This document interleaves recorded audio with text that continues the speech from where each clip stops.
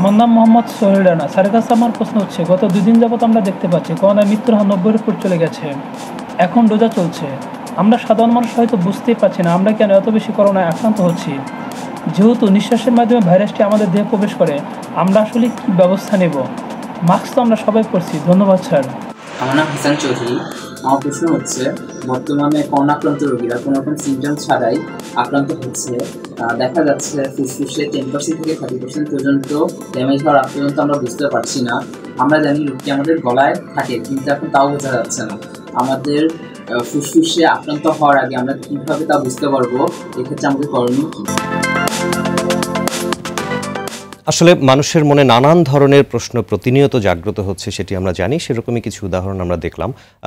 উনি বলতে চাইছিলেন প্রথমে যে কীভাবে আমরা বুঝতে পারব যে আমরা তো সব নিয়মকানুন পালন করছি হয়তো বা অনেকেই বা অনেকেই করতে পারছি না, তারপরেও কীভাবে আমরা বুঝব যে কীভাবে আক্রান্ত হচ্ছি? এরকম একটি কথা এসেছে, আপনি যদি একটু বলেন। অ্যাকচুয়ালি ভয় পাওয়ার কিছু নাই। তো viral disease no symptom no treatment তো এখন যদি হ্যাঁ জ্বর, কাশি, সর্দি শ্বাসকষ্ট এই জিনিসগুলো যাতে তাহলে তো চিন্তা করতে হবে এই এই মুহূর্তে। যদি লক্ষণগুলো হয়। লক্ষণগুলি হয়। নাকের গন্ধ চলে গেল। তাহলে আনটিল প্রুফ আদারওয়াইজ হঠাৎ করে কাশির সাথে রক্ত চলে আসলো। জি। অন্য কারণে হতে পারে বাট তখন চিন্তা করতে হবে। তো আমরা protection is a best answer protection is the best answer প্রতিরোধটাই সবচেয়ে বেশি গুরুত্বপূর্ণ যাতে আমি আক্রান্ত না হই। সেজন্যই যত নিয়ম কানুনের কথা আমরা সবসময় বলছি বা আমরা শুনছি। জি বলুন। মাস্ক হলো বেস্ট ভ্যাকসিন আপনাকে এ আমরা এখন রিলাক্টেন্ট মাস্ক আপনাকে পরিধান করতেই হবে। এই আমি আপনি বসে আছি ইয়ার মধ্যে যদি একজনের মাস্ক থাকে তাও যথেষ্ট পার্সেন্টেজ থাকে।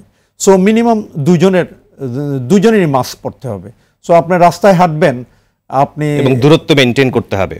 এক্স্যাক্টলি দূরত্বটা মেনটেন করতে হবে। আর শিষ্টাচার যেগুলো হাঁচি কাশি সবসময় জানেন এগুলো মেনটেন করতে হবে। এটা যদিও এটা ইয়ারবোর্ন ডিজিজ না বাট ড্রপলেটের সাথে তো হয়। জি। আর বডির ইমিউন সিস্টেম বাড়াইতে হবে বসে থাকলে হবে না কিছুক্ষণ হাঁটতে হবে কিছুক্ষণ ব্যায়াম করতে হবে পুষ্টিযুক্ত সুষম খাদ্য খাইতে হবে। এখন যেমন রমজান মাস আপনি যদি মনে করেন সিমটম হাঁচি কাশি আছে তাহলে সবারই পরীক্ষা করা উচিত। পরীক্ষা করা উচিত রোজা তো পরেও রাখতে পারবেন।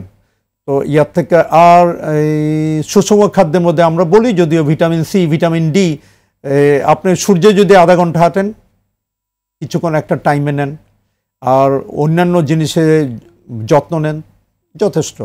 সিমটম না থাকলে ভিড় করার দরকার নাই।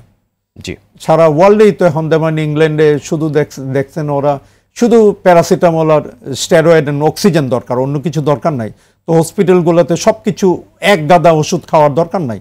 সিমটম হলেই কনফার্ম না হয়ে যে এতগুলো খাওয়ার দরকার নাই। সিমটম হলেই খাবেন। শক্তিশালী থাকবেন, সুস্থ থাকবেন, ভয় পাবেন না। এবং বেশিরভাগ রোগী বাসায় তো চিকিৎসা নিচ্ছেন। যারা হাসপাতালে যাচ্ছেন, হাসপাতাল পরবর্তী চিকিৎসা ব্যবস্থা কি হবে সেটা নিশ্চয়ই হাসপাতালে চিকিৎসকগণ নির্ধারণ করবেন। এবং আপনি যে কথাগুলো বলছিলেন যে আসলে আমাদের যে প্রতিরোধমূলক ব্যবস্থা, সেগুলিই বেশি গুরুত্বপূর্ণ এবং দূরত্ব মেনটেন করা। আমরা এখন যেহেতু লকডাউন চলছে, আমরা সবসময় চেষ্টা করব যাতে আমরা সেই দূরত্ব মেনটেন করার এবং অন্যান্য স্বাস্থ্যবিধি মানাটাই হচ্ছে সবচেয়ে বড় ভ্যাকসিনের মতো কাজ করবে, যেটি আপনি বলতে চাইছেন।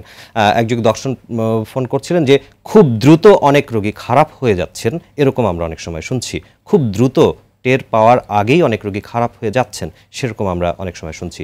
আপনি এই বিষয়ে সংক্ষিপ্তভাবে কিছু যদি বলেন। হ্যাঁ এখন তো একটা ডিফারেন্ট স্ট্রেন সাউথ আফ্রিকার স্ট্রেন আসছে। জি। এতে দেখা যাচ্ছে তার এই কমপ্লিকেশন একটু বেশি বাট কমপ্লিকেশন হঠাৎ করে আপনার খারাপ হচ্ছে না কিন্তু। হঠাৎ করে এরকম খারাপ হচ্ছে না উনি হয়তো কেয়ার করেন নাই। মানে আমরা একটাই বলব এখান তো যেহেতু একটা প্যান্ডেমিক চলতেছে আপনি জানেন না কে অসুস্থ। জি। সো আমি আপনি যে কোনো কেউ অসুস্থ হইতে পারি কোনো সিমটম ছাড়া। দেখা যাইতেছে কোনো সিমটম নাই। হঠাৎ করে ওই যে বলছেন ওই স্ট্রেনে লাঙে ইনভলভমেন্ট হয়েছে যখনই থার্টি ফোরটি পার্সেন্ট বেশি ইনভলভমেন্ট হয়ে যেতেছে যদি দেখা যায় শ্বাসকষ্ট হয়ে গেছে বা অক্সিজেন স্যাচুরেশন কমে গেছে মেইন তো ডিনোমিনেটর এটা। অক্সিজেন স্যাচুরেশন কমার আগেই তাইলে হসপিটালাইজ হতে হবে। অথবা আপনার যে হটলাইন আছে অথবা আপনার অনলাইনে যে সময়টিতে আসলে প্রয়োজন হসপিটালাইজ হয় সেই সময়টি বুঝে উঠতে পারাটাও একটা বিশাল গুরুত্বপূর্ণ ব্যাপার। একজন দর্শক আমাদেরকে ফোন করেছেন। জি দর্শক আপনার নাম বলে প্রশ্নটি করবেন। জি বলুন। আমি এই যে সামু হাসান স্যারের সাথে কথা বলতে চাচ্ছি। আমি স্যারকে আগে ওই তাকুয়া হসপিটালে দেখিয়েছিলাম আমার মেদবিলের সাইনোসাইটিস নাকের এদিক দিয়ে কপালের এদিক দিয়ে কন্টিনিউ ব্যথা করে আর গলার স্বর ভঙ্গ হয়ে যায় মাঝে মধ্যে।